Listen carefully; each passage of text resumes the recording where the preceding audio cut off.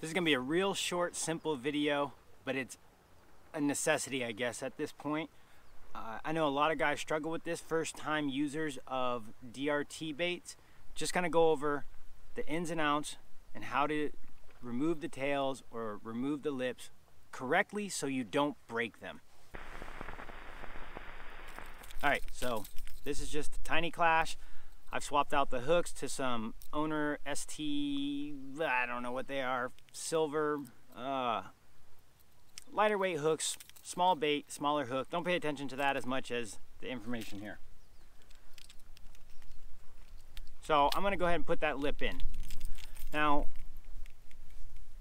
I wanna address the lip stuff because we get a fair amount of people and I see people online a lot talking about the lips breaking when they're removing them. I have, in the early, early days, broke a lip because I really worked hard to pull it straight out of the bait. But after a lot of use, years and years later, when done correctly, I've never broken a single lip, meaning the teeth on the lip by removing it. I don't know how one would do it if you're doing it correctly. I'm not saying it doesn't happen, but if you remove the lip correctly, the teeth inside that hold the lip in the bait should not break.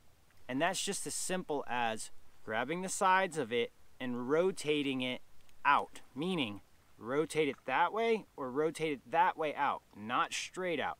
And when you do that, it's just a little and your teeth are still fully intact. I'll put it back in.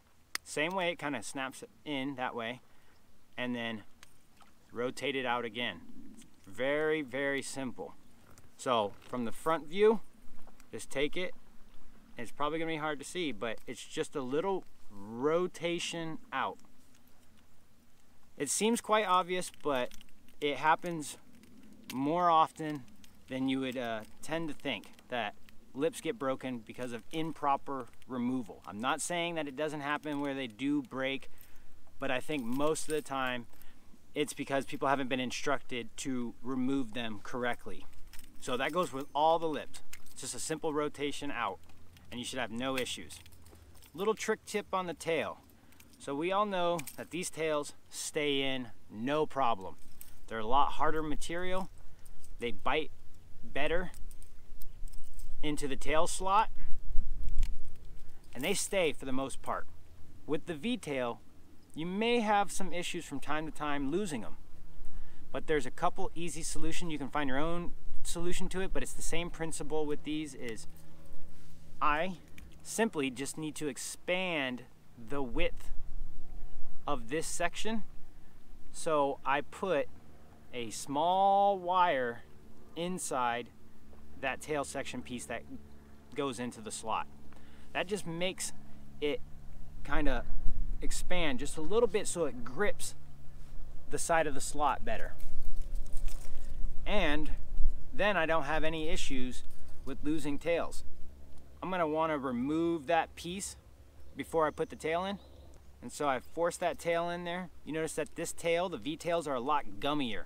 They're a lot looser, a lot stretchier. So that impact with the water hits them will sometimes force the tail out of the slot just because there's not enough resistance, and this is just my opinion, because there's not enough resistance on this gummy material inside the tail slot. You can take this little, a little wire U or just some thicker gauge wire and just stab it straight down in there, pushing it in so it stays in there. Yeah, you're gonna have a little nub sticking out.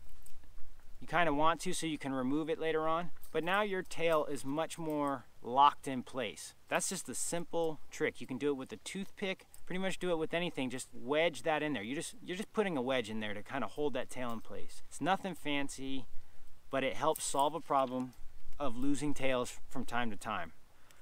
Anyway, don't want to go on much more of a rant. I just wanted to address the lip thing to help guys. Again, follow up on that real quick. Put the lip in. This goes for all DRT baits, not just the Tiny Klash, but all DRT lip baits. You just rotate it out. That's that simple and you shouldn't break any teeth. If you pull straight out, you're gonna break teeth. If you rotate it out, you're good to go. So Simple as that. I hope that helps some guys save a little bit of heartache.